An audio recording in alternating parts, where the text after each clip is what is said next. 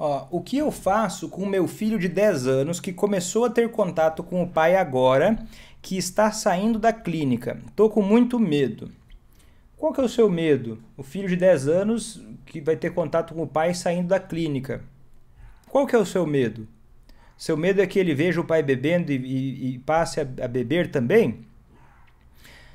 Se for esse o medo, eu vou te dar uma, uma ideia aqui. Vai parecer esquisito, mas pensa bem, é um pouco profundo esse raciocínio, mas eu vou precisar que você preste atenção agora. Se você quer evitar que o seu filho de 10 anos ele também desenvolva alcoolismo, a melhor forma, a forma mais efetiva de você fazer isso é você criando um relacionamento adequado com o seu filho. O que é um relacionamento adequado? É um relacionamento que vai ajudar o seu filho a ver uma forma de viver, de se relacionar consigo mesmo, com as emoções, com os problemas, de uma forma mais saudável. Por exemplo, se você chegar pro teu filho e começar a dar sermão nele, dizendo: olha, o seu pai é uma coisa, uma pessoa errada, uma pessoa que, nossa, não vai pro lado do seu pai, olha só quanta coisa ruim aconteceu com seu pai isso é uma maneira muito ruim de você lidar com o teu filho, por quê? Porque é o pai dele. Ele não tem idade suficiente para ter clareza de que, olha, é uma doença que o pai tem, e a verdade é essa, é uma doença que o pai dele tem, não é que o pai dele é uma pessoa horrorosa, né? E, e você chegar e falar, não, filho, o álcool faz mal, o álcool é a pior coisa do mundo. Não é na base do sermão. Você pode até conversar com o seu filho abertamente mas assim, estimulando o seu filho a também refletir sobre as coisas, respeitando e estimulando que o seu filho tenha um ponto de vista dele. Porque quanto mais liberdade, quanto mais autonomia você ensina o seu filho a ter, maior as chances ele tomar boas decisões. Outra coisa, você tem, que, você tem que ter um relacionamento com afeto com o seu filho. Você tem que saber se comunicar com ele. Né? Por exemplo, no dia a dia, a gente tem uma forma de se comunicar, principalmente com as crianças, porque foi assim com a gente, às vezes até com adultos, em que você, por exemplo, está o tempo todo escravizando teu filho, trazendo um raciocínio para ele tóxico. Quer um exemplo?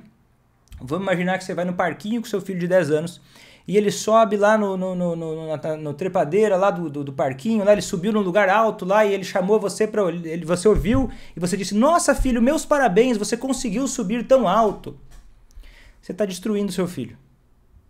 Ou seu filho chega, tirou 10 na prova, daí ele vai te mostrar a prova, você fala: "Parabéns, meu filho, você tirou 10 na prova". Você está destruindo seu filho.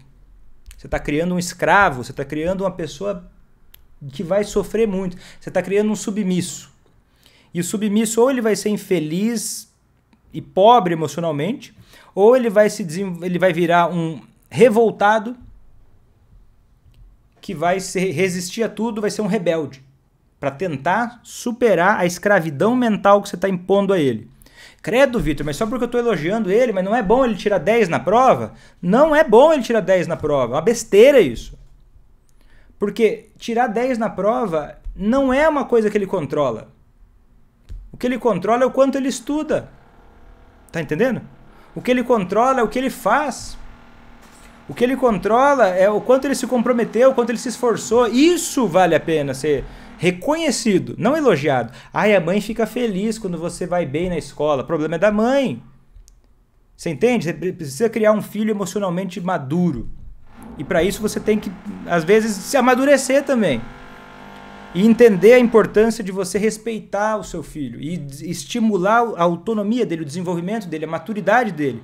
E não fazer o seu filho ficar feliz porque agora ele está quietinho e você não quer se incomodar com ele, enquanto você ignora as necessidades emocionais dele. Né? E aí, como é que seu filho vai aprender? Não é com o que você fala, é com o que você faz. A forma que você se relaciona com ele, a forma que você se relaciona com o pai dele. Tá entendendo? Porque as palavras, o sermão, as coisas que a gente vai dizer para os outros, sussurram. Mas o que a gente faz mesmo é o que marca. A única forma de ensinar alguém é pelo exemplo. Né? Então se preocupa mais com você e com o que você faz do que com o outro.